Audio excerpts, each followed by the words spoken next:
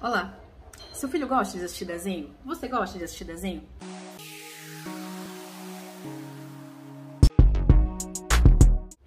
Uma forma de sempre ensinar e fazer uma psicoeducação para as crianças de que o desenho não é bom é fazer um comparativo, que é algo que está muito estruturado na sociedade. Que chocolate, por exemplo, não faz bem. A gente não pode substituir uma alimentação por um, um doce, um chocolate.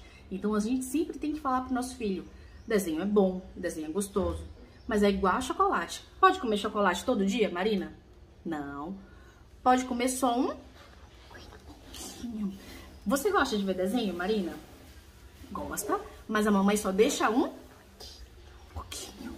Porque televisão faz mal para memória, faz mal para os olhos, faz mal para a linguagem.